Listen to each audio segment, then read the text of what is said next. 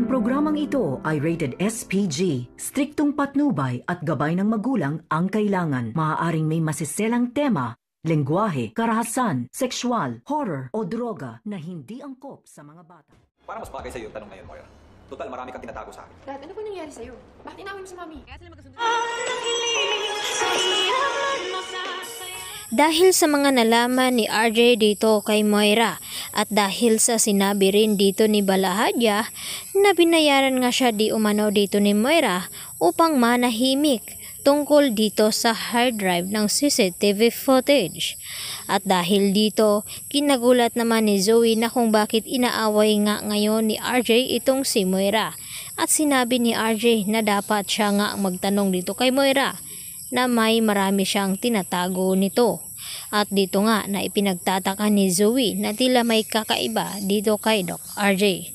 At dito naman na nag-uusap itong sina Annalyn at Chang Susan at Lynette at pinatawag nga nila itong si Michael dahil sa tanong ni Chang Susan kung sino nga ang may hawak noon ng CCTV footage o dri- drive at dito na sinabi ni Annalyn na ito ngang si Michael. Kaya tinanong ni, ni Annalyn na kung may kopya pa nga raw siya dito ng hard drive na ngayon nga ay kanilang papanoorin dahil naloko nga itong si Lynette dito nga ni Boggs.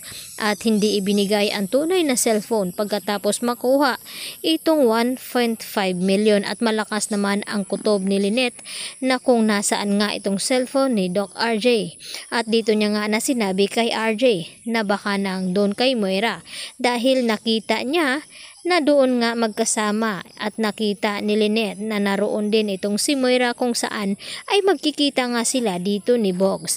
At dahil dito, nasabi rin dito ni Lynette na may isa pang alas o uh, kinakailangan nilang malaman tungkol dito sa hard drive.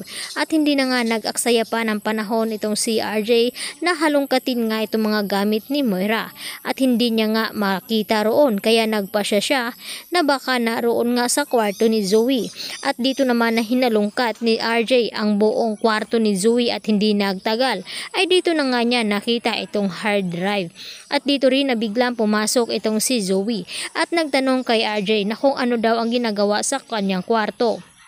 At ang sagot naman ni RJ kay Zoe na may tinatingnan lamang daw siya na album kung saan magkasama sila ni Zoe.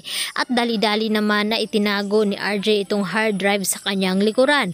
Kaya hindi napansin dito ni Zoe na nakuha nga ito ni RJ.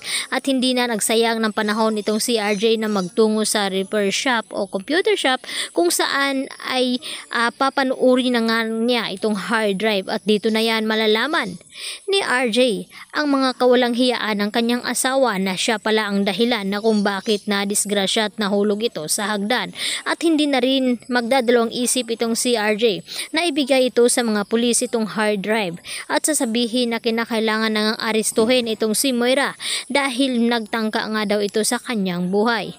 Kaya naman ikakagulat din dito ni Lynette at Annalyn ang kanilang malaman tungkol nga dito sa hard drive na hindi nga sinusurrender ni Joey ni Zoe at tama nga ang kutob ni Lynette na baka may kasabwat nga itong si Zoe at itong mga kapulisan. Kaya naman dali-dali naman na pinuntahan ni Annalyn at Lynette itong kinaroroonan ni RJ dahil agad din nakatawag ito at ipinaalam sa kanila na naroon na nga sa kanya itong hard drive o CCTV footage na kinakailangan nga nilang mapanood. At hindi na rin nag-aksaya ng panahon itong si Annalyn kaya naman nakita niya itong si Boggs at kasama ang pinsan nito at tinawag niya nga ito at itinatanggi na kilala niya ito.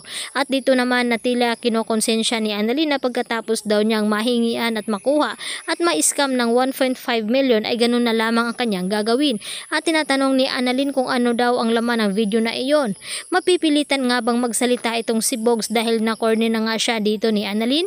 Yan po ang ating pakaabangan bukas. Dito lamang yan sa abot kamay na pangarap. Yan lang po.